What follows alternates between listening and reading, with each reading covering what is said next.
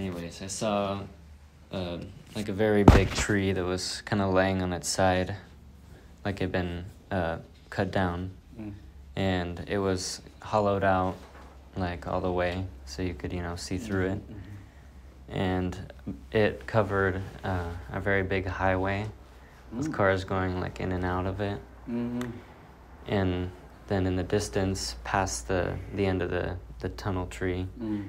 I could just see like a very big waterfall, and then that's where it ended. Oh. Like that was the destination, or the Yes. highway. Not sure.